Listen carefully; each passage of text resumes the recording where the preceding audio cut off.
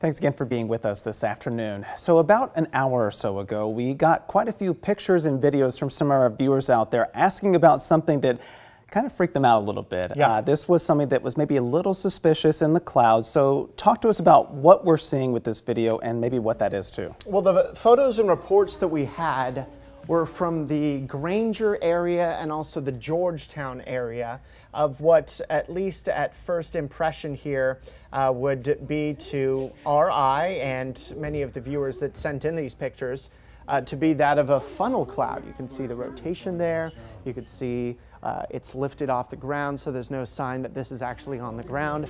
Uh, but it came in an area without a strong or even severe thunderstorm. And it came at the point that the National Weather Service, even because we double checked with them, there was no rotation detected here uh, in this thunderstorm. So uh, we have no definitive reason about what caused this, but we can make some educated guesses based on what was happening in the atmosphere at the time.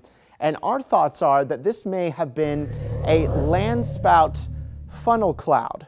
Now, what these are caused by is the convergence of wind boundaries coming together uh, in one place. And where that air meets, it can't go down because the ground is down. So then it is forced up and it starts to spin.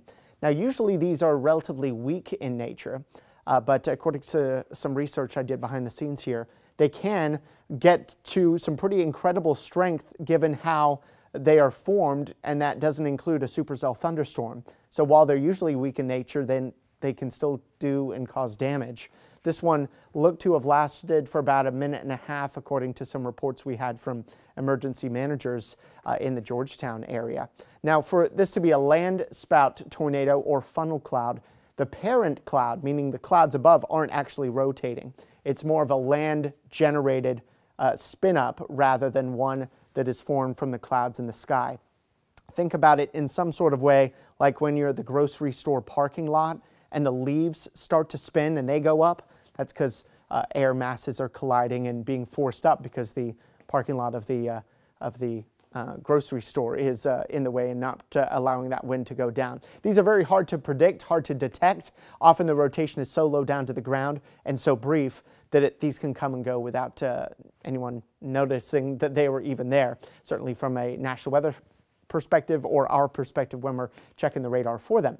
Uh, but this may have been what happened earlier today in parts of Williamson County, Granger, uh, also spotted from Leander, Georgetown as well. So in case you saw it, this may have been what it was.